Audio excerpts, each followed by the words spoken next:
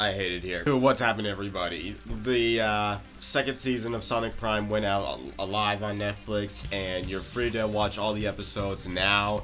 And for, and for this video, I'll be going through my in-depth review on this whole season. So without further ado, let's get into it. Start off by talking about Shadow, because with the first season, they were obviously teasing him for what was going to happen in season two, and honestly, I kind I kind of liked how he was used this time around because I thought we, I expected to see him a bit more, and even though we only like we got I'd say a bit of screen time because um I'm trying to think he was in I'd say three at least?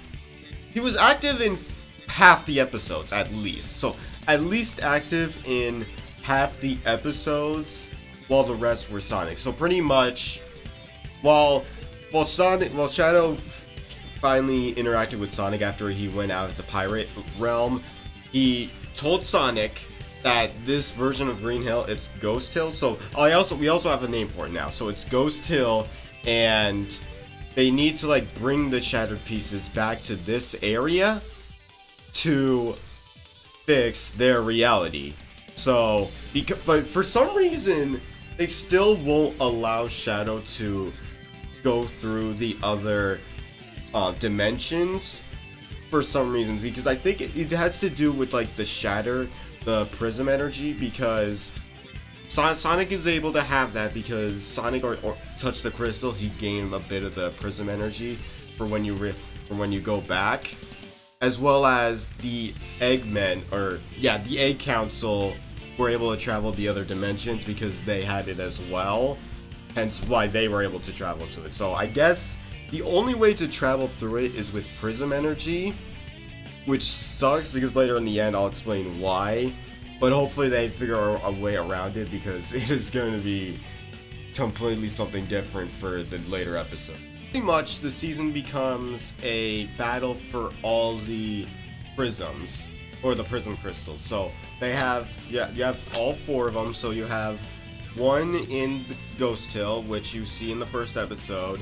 Then you see the one that was in New York City, which the Egg Council uses to travel through the other dimensions. Then you have the other two in the Jungle Dimension and the Pirate Dimension, which, man, we the Pirate Dimension was something else because Oh my goodness, I was not ready for what was going to happen with the Pirate Dimension. When we got to the fourth episode, this is when I realized the only pirates that you can trust in media are Jack Sparrow and Monkey D. Luffy because oh my goodness.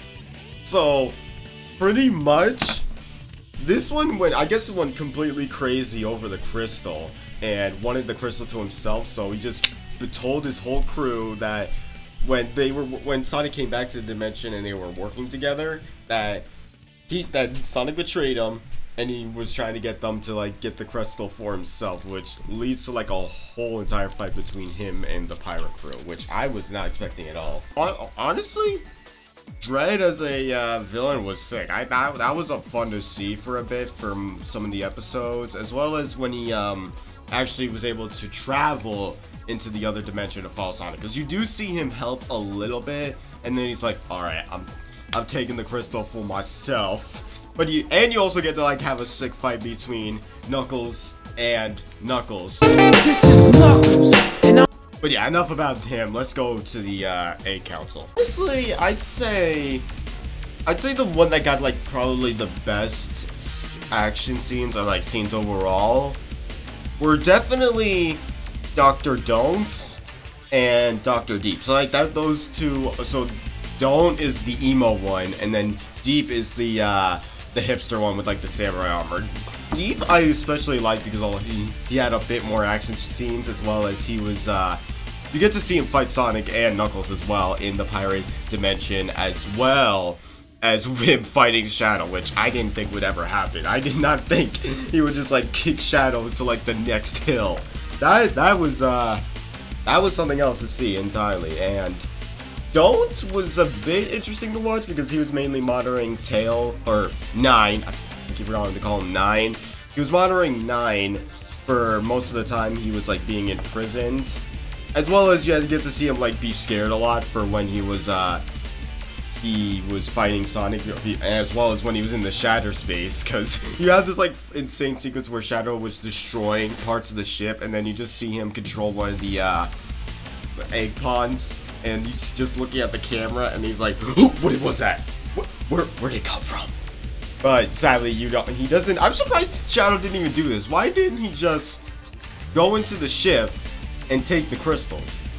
I, am surprised he didn't just do that. Why didn't he just go in there? I'm guessing there was like no hatch or something, so I I really don't know. Get to episode five, you pretty much get the second half being focused in New York City, which I was uh, I was honestly fine with because I think that was the better dimension to like stay into, so that way you can just have them all battle for the crystals. So you have Dread in there as well, um, carrying over from the Pirate dimension, and then you just have all of them fighting over the crystals while trying to get into the uh, palace. He joins up with that resistance, and I really don't get why they really don't trust him, even though he's like not really his fault, but then they just start to trust him. So it's like it, it's a weird change. Like each time he disappears, because again, it's not really his fault, but then they're just like, yeah, we don't trust you because you left for 0.5 minutes.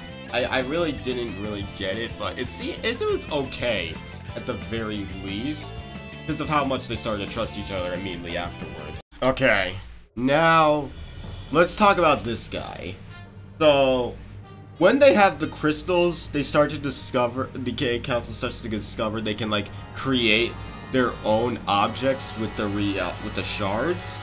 So they start off by making the big, big, bigger robots, but then afterwards Tails slips, or Nine slips up, and he helps them to create what is called Chaos Sonic. So, this, I, I don't, after looking back at it, I don't see him as a Metal Sonic variant. I just see him more as like a, one of like the robotic line of Sonics. Because remember, there's like different types of Sonic, Metal Sonics, or Robot Sonics throughout the games. Because remember, we had that one in the, uh, that was on the Game Gear.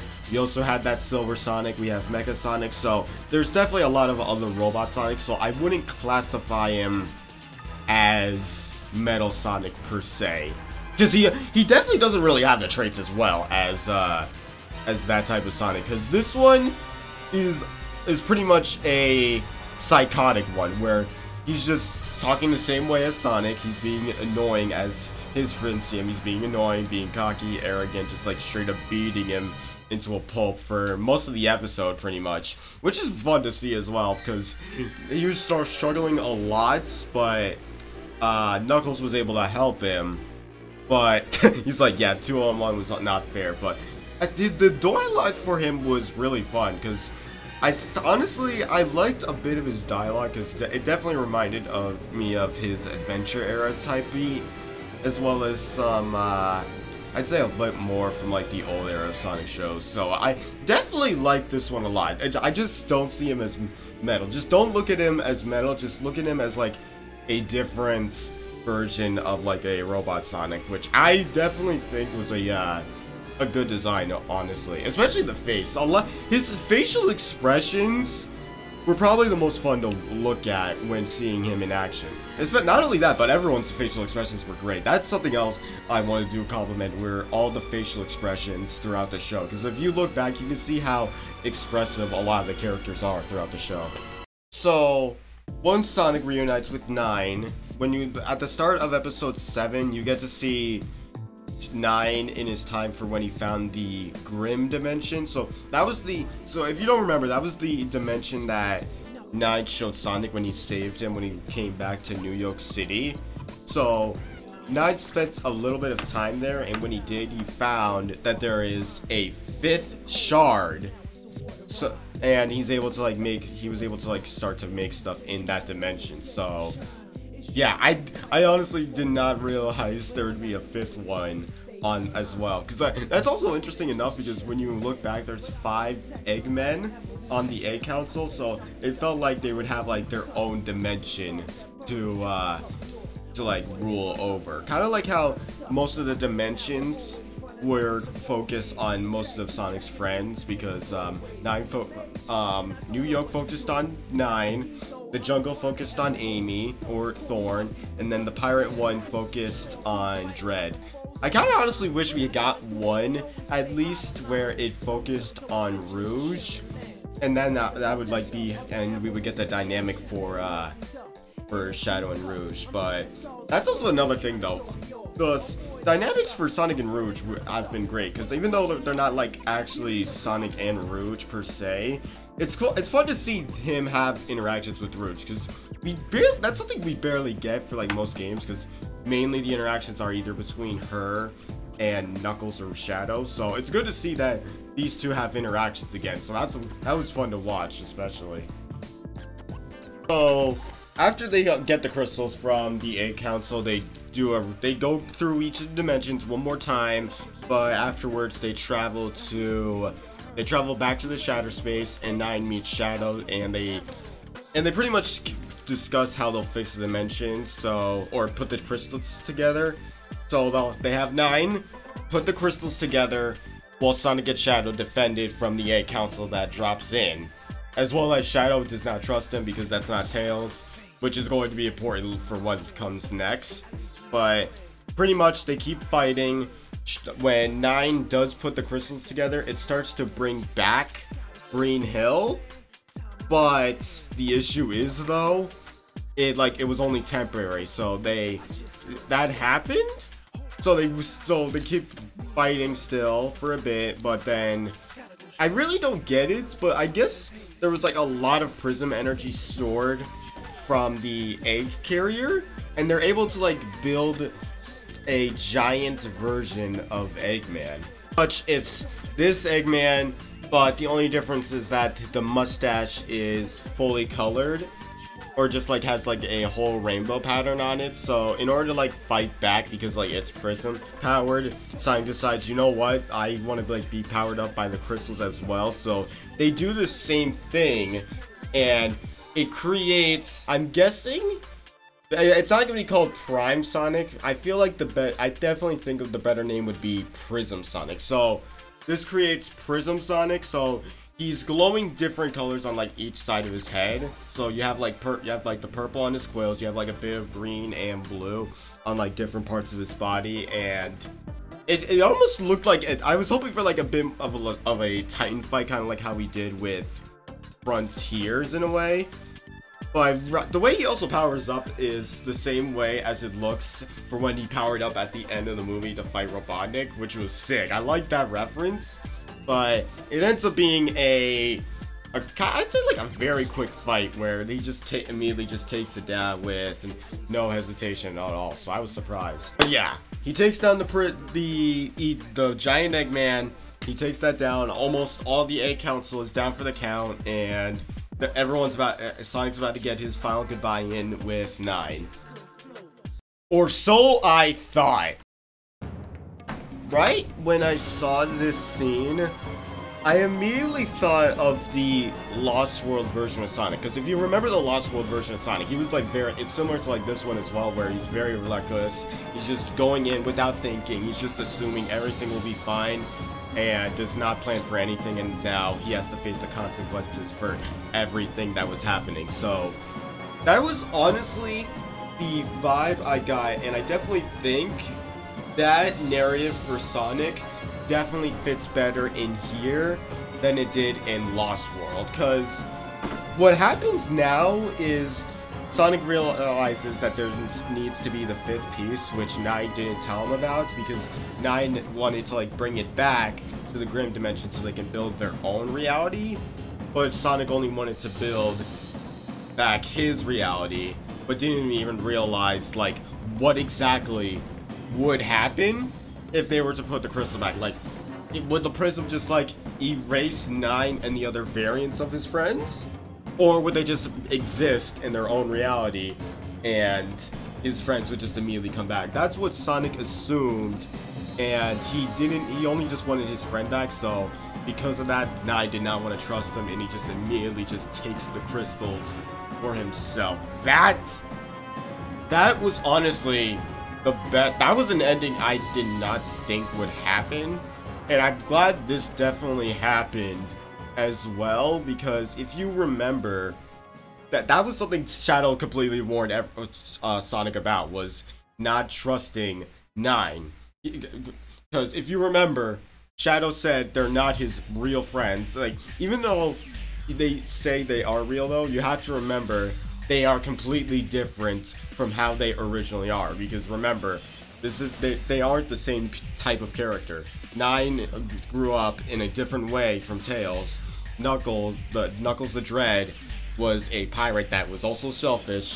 Thorn, I'll just say I'd say Thorn was like the better version of like everyone else because like Thorn actually trusted her friends and like didn't really do anything else to endanger them, so to speak. But and, and gave up the crystal willingly. So he forgets that they're they're different peep they're different characters and because of it he faces all of those consequences because he should have realized that he needed to get just get the crystals and not like get too attached to them because now now that he got um, too close with nine he didn't realize what what we he would have done once he put them back together and because of it nine took away all the crystals I, I know it's coming, and I, I know for like the start of season three, it's going to just be hilarious. Like, I warned you. Only that, but even everyone else in the New York City was like, yeah, you can't trust him either. Which I I wasn't exactly sure how to feel about that, but then when I saw this scene, I feel like the people in New York were exactly right about that because remember, he took the prism for himself while leaving everyone else at the mercy of the Egg Council. So yeah, everyone was right about 9, and Sonic was just too foolish to see that just because he thought it was his friend.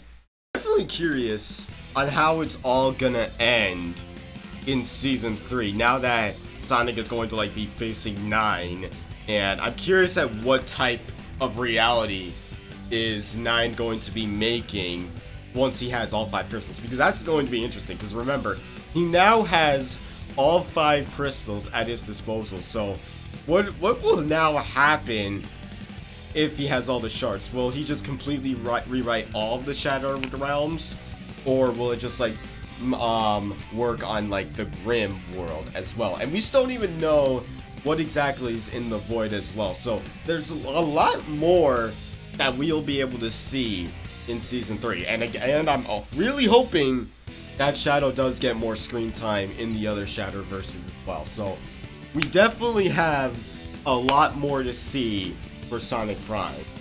Overall, I like the season way more than I did with season one because I did feel like season one did have like a lot of fun moments. I was missing, I wanted a bit more story to it, and I definitely think we got like more story with this season because season one pretty much just set up all the different dimensions. Well, with season two, we got to see like all the chaos go down in each of the dimensions, which I was excited to see. That I feel was like a a great payoff for having all of those different dimensions. Highly recommend watching this. So I, for makings, I, I I'll oh, definitely do a lettered grade. So I definitely give it an A rank. I gave I give this a A rank, and I definitely recommend watching it as soon as possible. And hopefully we get season 3 as soon as possible. I'd say maybe season 3 next spring. I Because let's see here. It took... It took seven months, so probably I'd say spring 2024 is when we, we might get a conclusion. Either spring 2024 or winter 2024 is when I'd say we can see a conclusion. But that's going to be it. So let me know what was your favorite part about Sonic Prime and what else do you want to see in Season 3. And let me know what else you y'all want to see for my next video. Thank y'all for watching and I shall see y'all in the Shatterverse. So see y'all soon.